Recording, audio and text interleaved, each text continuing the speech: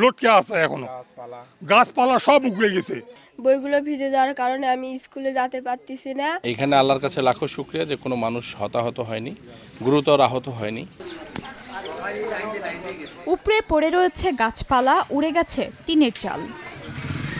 এ চিত্র দিনাজপুরের হাকিমপুর নবাবগঞ্জ বিরামপুর উপজেলার। কয়েক মিনিটের ঘূর্ণিঝড়ের তাণ্ডবে বাড়িঘর গাছপালা ভেঙে পড়েছে। সেই সঙ্গে খুঁটি উপড়ে এবং তার ছিঁড়ে পড়ায় বিদ্যুৎ বিচ্ছিন্ন অনেক এলাকা। আমার জীবনেও এরকম ঝড় দেখি নাই বাবা। টিন ঘরের অল দেওয়াল সব উড়ে চলে গেছে। কয়েক সেকেন্ডের মধ্যে এমন ভাবে ঘূর্ণিঝড় আসছে আসে সবকিছু মুচড়ে মাচড়ে নিয়ে চলে গেছে। এমন ভাবে আইছিল অন্ধকার হয়ে চারিদিক দিয়ে। মানে কিছু দেখা যাচ্ছিল না। এ অবস্থায় ক্ষতিগ্রস্ত পরিবারের মাঝে শুকনো খাবার টিন এবং নগদ টাকা সহায়তা দিয়েছে স্থানীয় সংসদ সদস্য।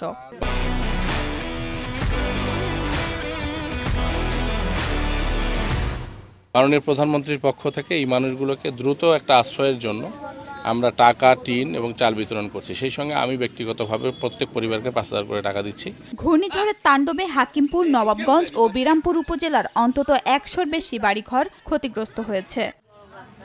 সময় সংবাদ, হিলি।